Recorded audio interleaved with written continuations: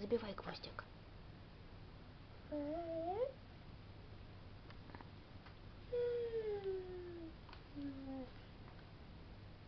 Это что у вас за медитация?